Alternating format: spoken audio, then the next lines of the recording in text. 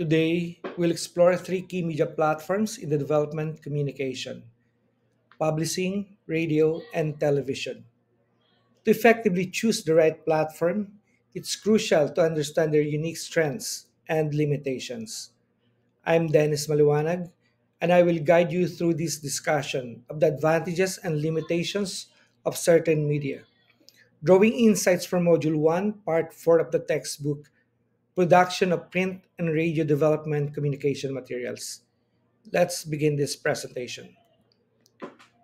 In development communication, publications are written or printed materials designed to share information and messages for positive societal change.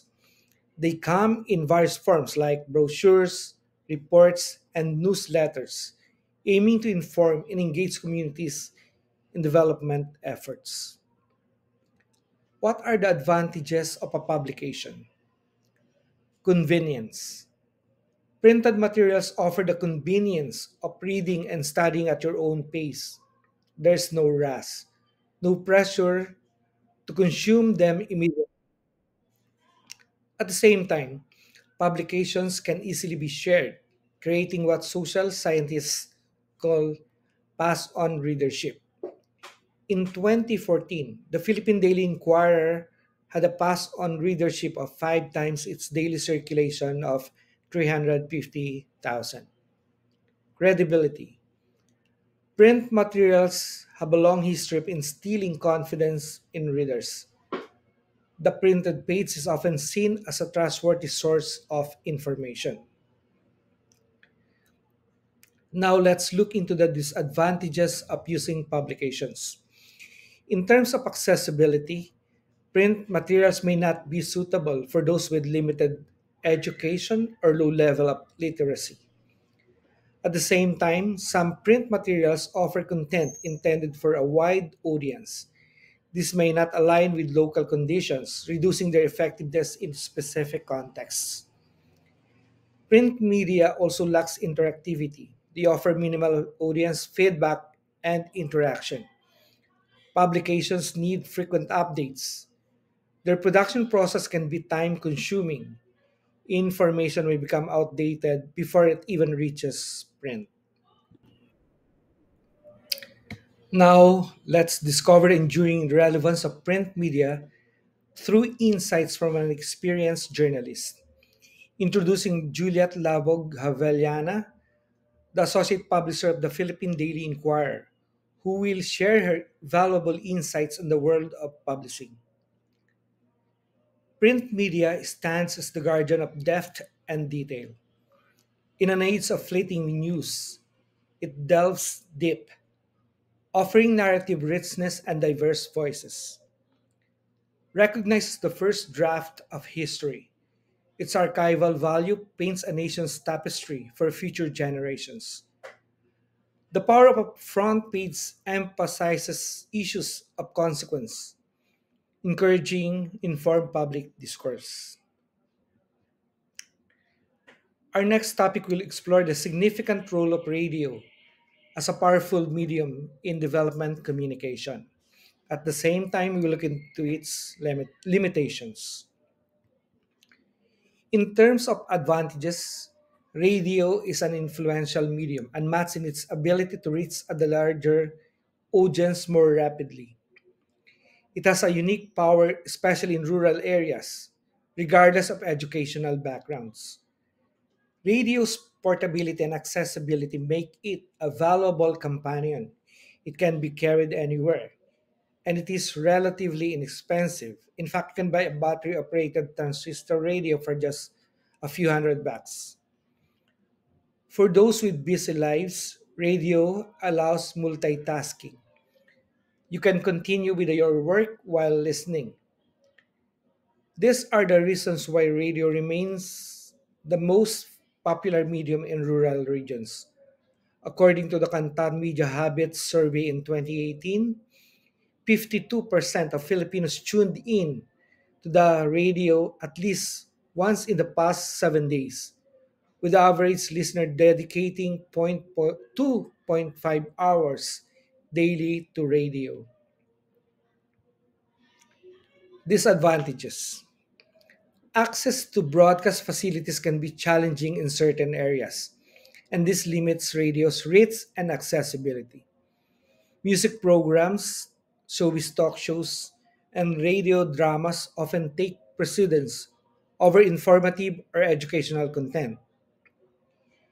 Impact Many, many radio stations do not conduct listenership studies to gauge the impact of their programming on the intended audience.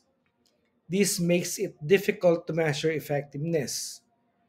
Due to the transient nature of radio mes- messages, listeners have limited opportunities to fact check. This can lead to miscommunication, especially on controversial topics. Radio holds significant importance for this broadcast journalist, who began his career as a radio reporter for Radio Veritas and Radio Inquirer before embarking on the journey to Samar to establish his own race station. Meet uh, Ricky Brosas, the station manager and owner of 92.1 Infinite Radio Calbayog, as he shares his unique perspective on the world of radio broadcasting. Radio offers instant access to information free of charge, reaching a broad audience. In many areas of the country, you'll witness fierce competition among radio stations. Sa radyo, bawat balita ay laging bago. Sa katunayan, dito nagmula ang konsepto na bawal magbalita ng bahaw o luma. Kaya't radyo ang tunay na kaagapay sa pagbabalita. Now, we'll dive into the world of television and video, two platforms that have revolutionized how we consume content. In this session, we will explore the numerous advantages and some disadvantages of this visual media. Advantages Television provides a personal connection. It offers an experience closest to face to face discussion. It draws viewers into a world of visual storytelling. In terms of reach, TV has the incredible capacity to simultaneously reach diverse audiences in different locations.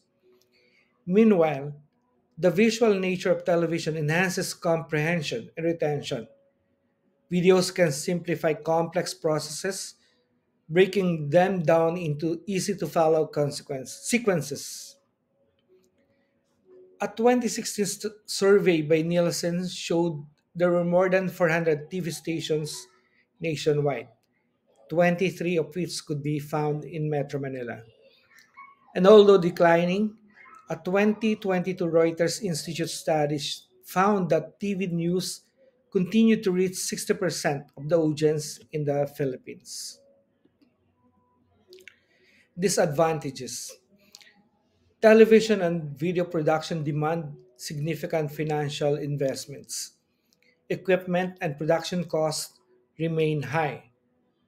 Another downside of TV and video is that in many cases, they are inaccessible in rural areas. That limits their reach and impact.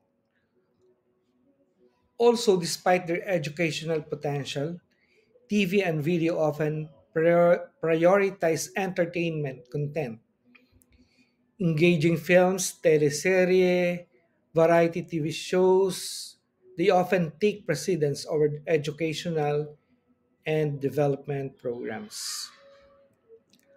Our final featured journalist is an online editor at Inquirer.net with extensive experience in broadcast media. She held various roles from reporter and anchor to executive producer at ABC5 RPN 9, and ABS-CBN News Channel. Presenting Arlen Lim, former TV News Executive Producer at ABS-CBN News Channel, who will share her insights on the importance of television in today's communication landscape. Television wields formidable influence, with broadcast journalism serving not only as a conduit for communication, but as a guiding force in shaping society. For many Filipinos, free TV remains their primary source of both news and entertainment. The cherished tradition of tuning into ev- evening broadcasts has evolved into a unifying ritual for households nationwide. Now, to sum up our discussion on various media platforms, here are the main points to remember. Publications provide convenience and credibility.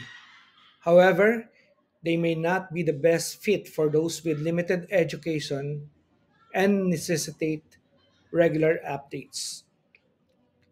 TV and video, while offering personal resonance and visual clarity, come with higher costs. They are also less prevalent in rural areas. Radio remains influential and widely accessible, yet it tends to focus on entertainment, lacks mechanism for impact assessment, and faces challenges in fact checking. Shifting our focus to the rural Philippines, the urgency for development is apparent. A significant portion of these communities, including farmers and fisherfolk, grapple with poverty. Based on the 2021 figures from the Philippine Statistics Office, fisher folk and farmers encountered high poverty incidence rates of 30.6% and 30%, respectively. And while the Philippines boasts a commendable 95% electricity access rate as of 2019, the economic challenges in these rural areas make owning a television a luxury many still cannot afford.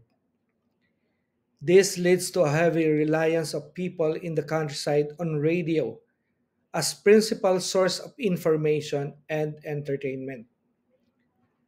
Considering the slow pace at which progress reaches rural communities in the Philippines, it is unlikely that this situation will improve anytime soon.